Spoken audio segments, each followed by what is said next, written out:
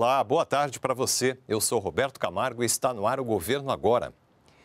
Um local que reúne a modernidade de grandes arranha-céus e a preservação de antigas mesquitas. Assim é Abu Dhabi, nos Emirados Árabes Unidos.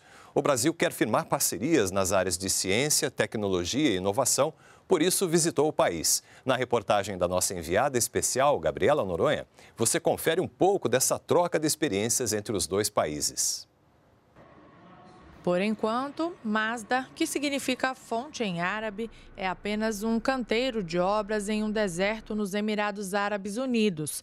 Mas até 2030, quando ficar pronta, a cidade mais sustentável do mundo deve abrigar 40 mil pessoas e apenas empresas não poluidoras. Na Companhia de Energia do Futuro, a delegação pode até dar uma volta em um veículo elétrico e automatizado. É uma empresa que ela tem uma, uma, uma aproximação muito grande né, com, com todo o desenvolvimento né, sustentável, eles trabalham com energia renovável. A viagem oficial da delegação brasileira aos Emirados Árabes busca a aproximação nas áreas de ciência, tecnologia, inovação e comunicação. A parceria representa ainda para o Brasil uma porta de entrada não só para o Oriente Médio, mas também para outros países da região. Localizados perto da Europa, Ásia e África, os Emirados Árabes são hoje referência no comércio mundial. Marcos Pontes foi recebido nesta segunda-feira pelo príncipe herdeiro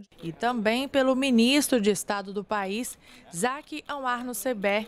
O ministro Marcos Pontes visitou uma universidade de tecnologia e pesquisa. Era o passo que estava faltando para que essa relação se intensificasse e se tornasse, de fato, eh, uma parceria é, muito próxima. O Ministério de Inteligência Artificial também esteve no roteiro.